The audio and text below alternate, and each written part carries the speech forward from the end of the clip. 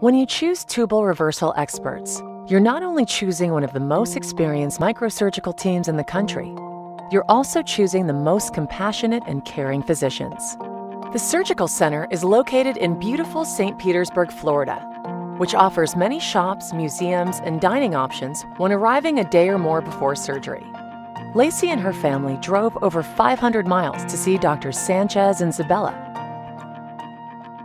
Once you arrive at the surgery center, the physician will again speak with you and review the surgery and post op care prior to escorting you to the operating room.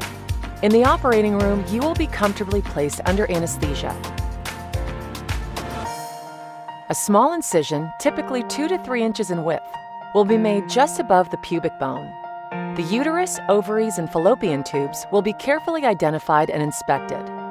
Using optic magnification and the principles of microsurgical technique, the open tubal segments are gently brought together using very fine, delicate sutures, actually thinner than a human hair.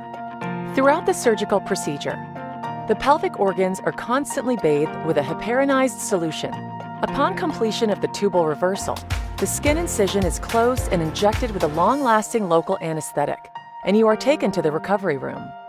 You will be observed prior to being discharged home or back to your hotel if visiting us from out of town. Tubal reversal experts, helping couples worldwide achieve their dream of having a baby.